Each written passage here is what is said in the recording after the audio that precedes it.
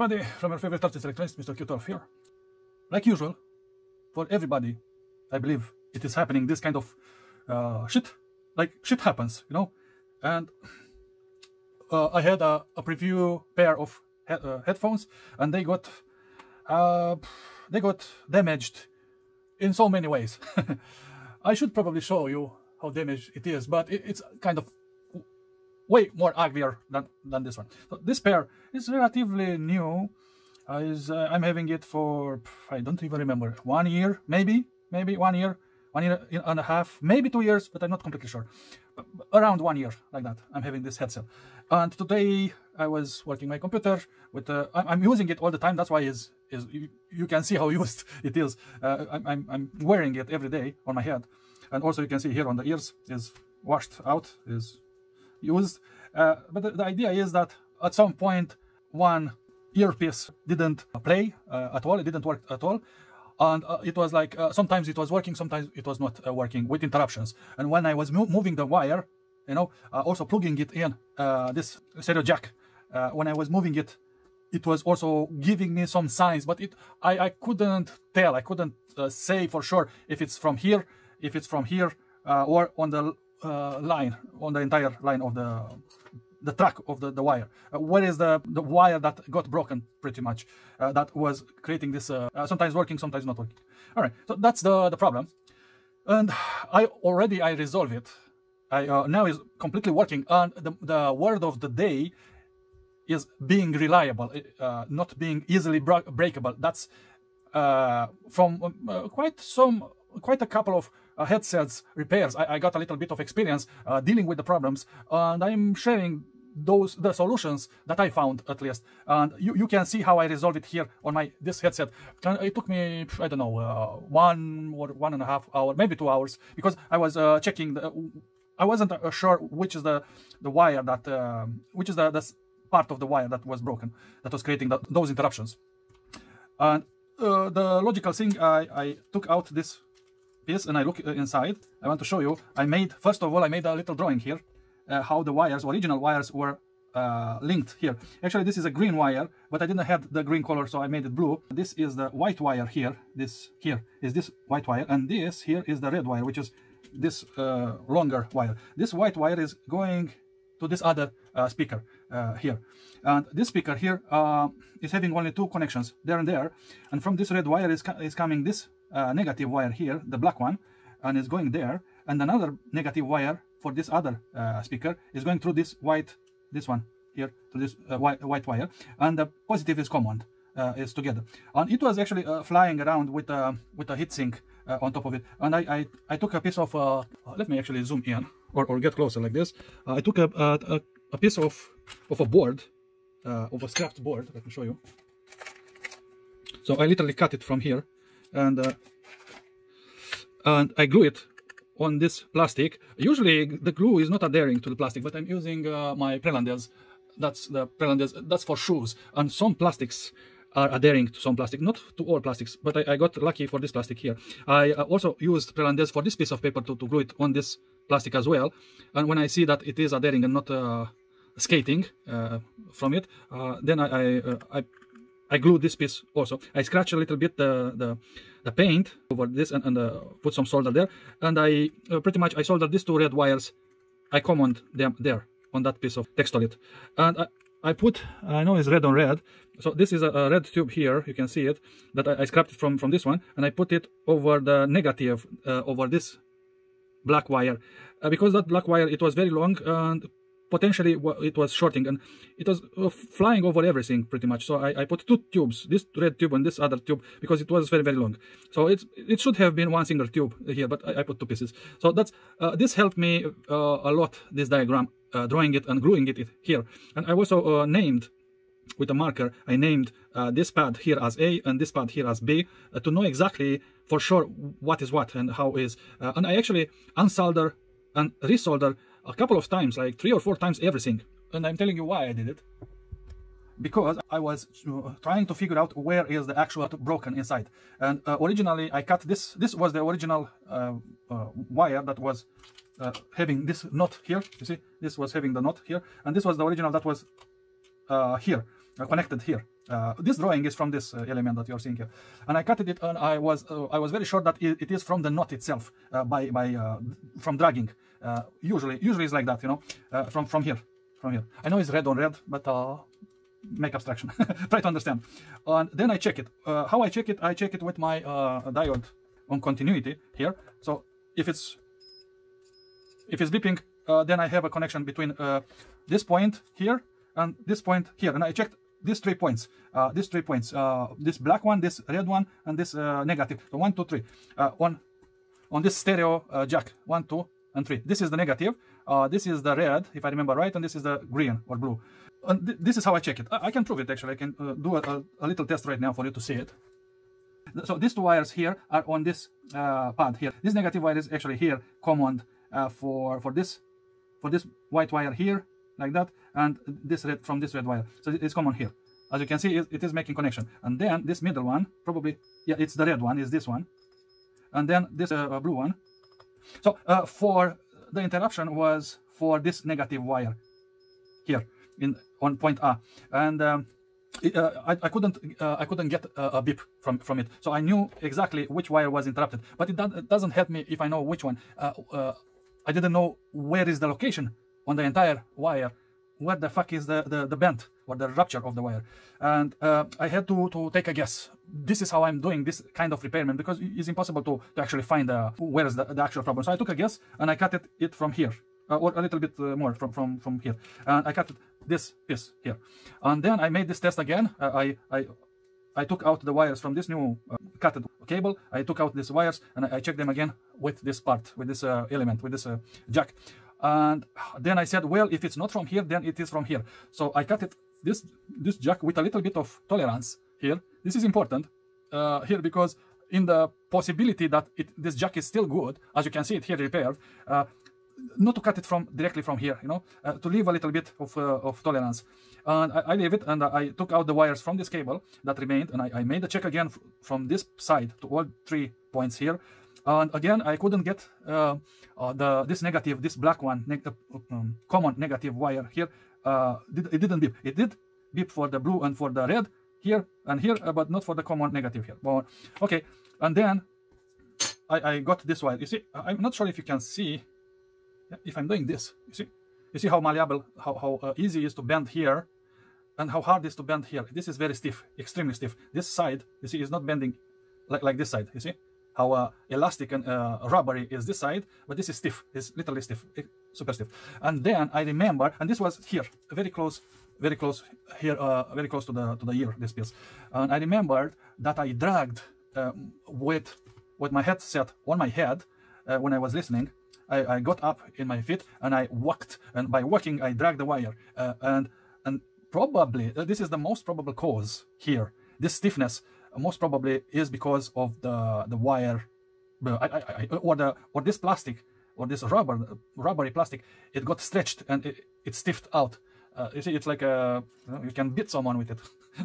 Uh, while this is is not doing anything you know is just conforming to the shape like that. Is so uh, most probably this was happened. This happened sometime somewhere in, in time you know. Uh, not yesterday not uh, two days ago but in time you know uh, accumulated uh, this kind of uh, dragging.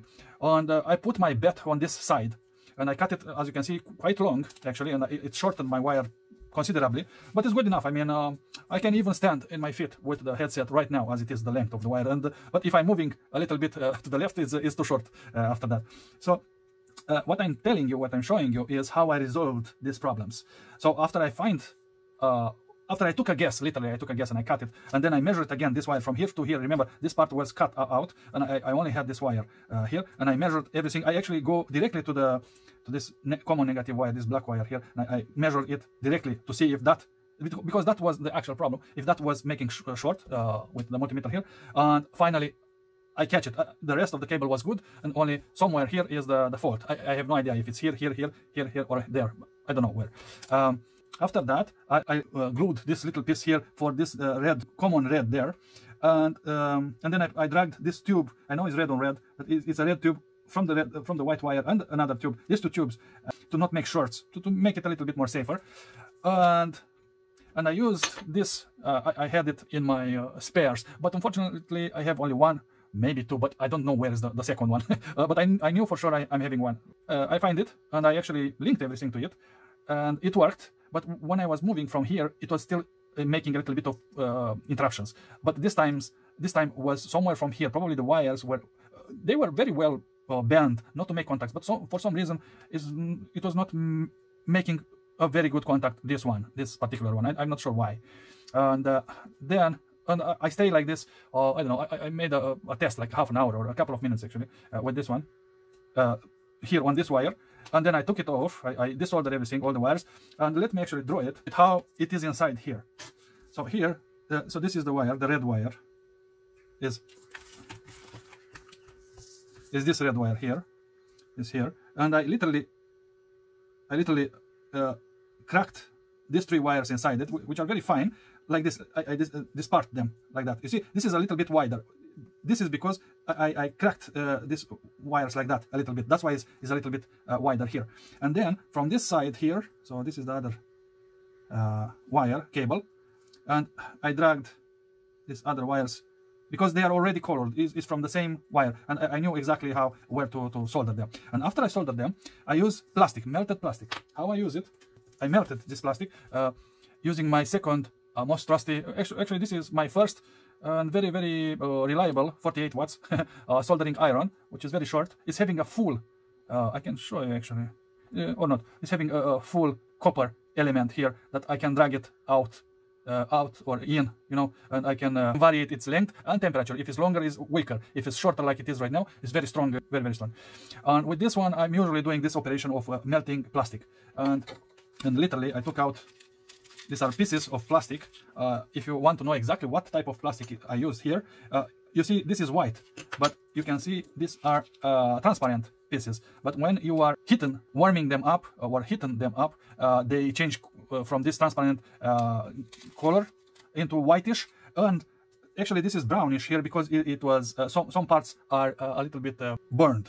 Tiny little bit brown stains that you are seeing there, and even black is, is actually burned uh, plastic. Uh, so it depends how much you, you you you melt the plastic. If you if, if you stay too much with the soldering iron, iron uh, into the plastic, you start to burn it a little bit. But it's, it's no problem because uh, uh, it is very very fluid. You know, uh, that's why uh, I wanted it to be super fluid to actually get between the cracks between everything there. So this, and if you want to know exactly what kind of plastic I'm using, I'm using this PET this PET uh, uh, polyethylene uh, terephthalate. this is PET that is used in um, bottles of beer. Actually, this is exactly a sample of a beer bottle plastic. And this uh, transparent one, I find it somewhere, I don't remember where, and I cut it into uh, these little uh, pieces because it was very thick, that's why. And I read on the bottle that I, I cut these pieces, it was also a PET. And if I, I see that it's a PET, it is the same plastic that is uh, from the beer bottles. Uh, and on the beer bottles, it says it's having this element, this uh, uh symbol there that is telling you this is a PET plastic.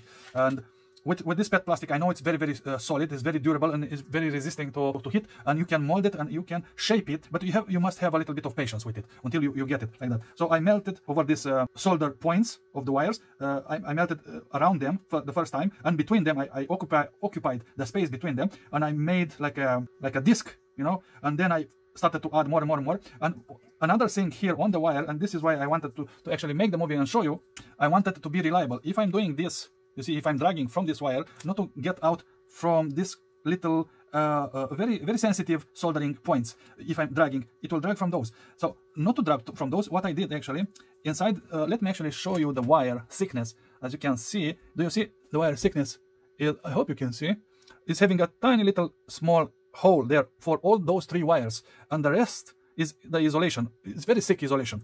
And inside this isolation I, I did a cut like this so this, this, if this is the wire like this, this is the wire.